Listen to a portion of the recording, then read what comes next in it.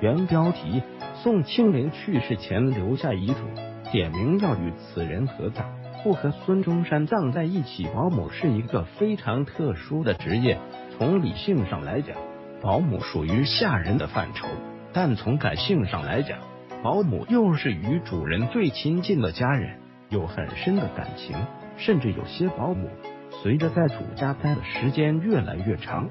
逐渐已经和主家成为了亲人。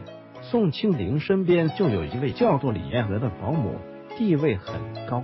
李艳娥是广东人，十六岁那年就来到了宋庆龄身边当保姆，整整陪伴了宋庆龄五十多年的时间。与宋庆龄待在一起的时间，远比孙中山与宋庆龄待在一起的时间要长许多。可以说，孙中山去世之后。一直都是李艳娥陪伴着宋庆龄。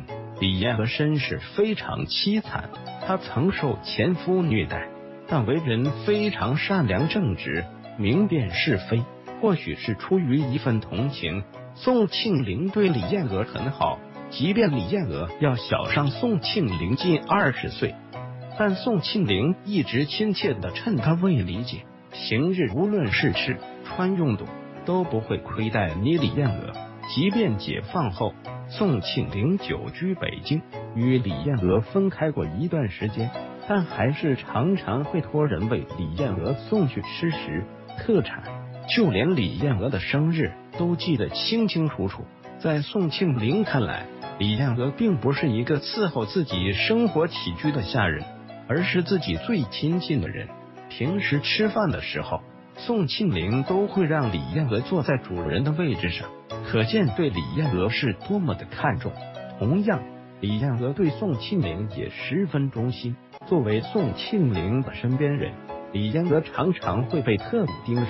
可面对特务的威逼利诱，她从来都没有动心过，一心一意保护着宋庆龄的人身安全，从未透露过宋庆龄的一点点信息。因此，宋庆龄夸赞李艳娥是不拿枪的警卫员。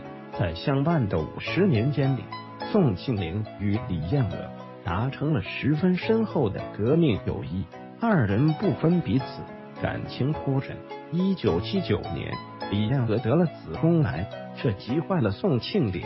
一个见惯了大风大浪，无论何时都能保持端庄冷静的人，竟然在这个时候乱了阵脚。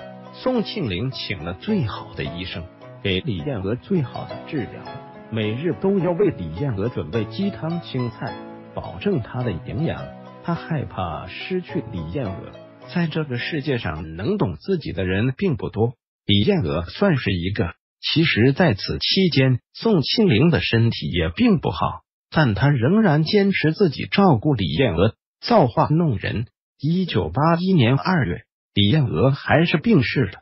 宋庆龄十分痛心，他立下遗嘱。